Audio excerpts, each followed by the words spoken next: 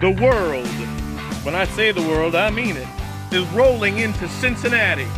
And these custom trophies will be sent home with these winning athletes.